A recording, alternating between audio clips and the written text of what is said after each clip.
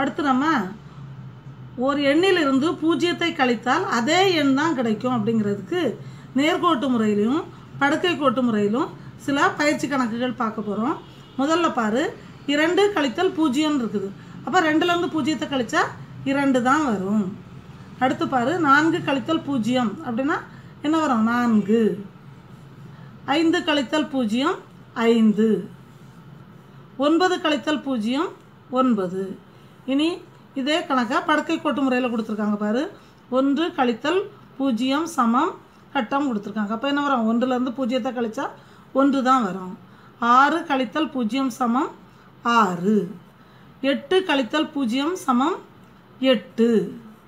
இனி அடுத்த தலைப்பு பாரு. பொருத்தமான படங்கள் வரைந்து கழித்தல் கூற்றை நிறைவு செய்கன்னு கொடுத்துருக்காங்க.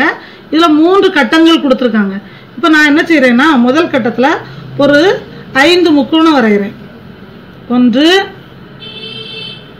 இரண்டு மூன்று நான்கு ஐந்து. ஐந்து முக்கோணம் வரைகிறேன்.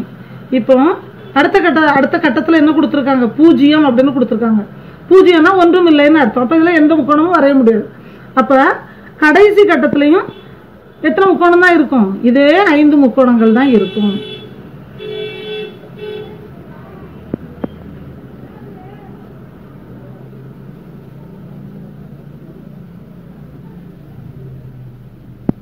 அப்போ இதுல இருந்து என்ன தெரியுது? எந்த ஒரு எண்ணில இருந்தும் பூஜ்ஜியத்தை கழித்தா அதே எண் தான் கிடைக்கும் அப்படின்னு தெரியுது. ஐந்து கழித்தல் பூஜ்ஜியம் சமம் ஐந்து.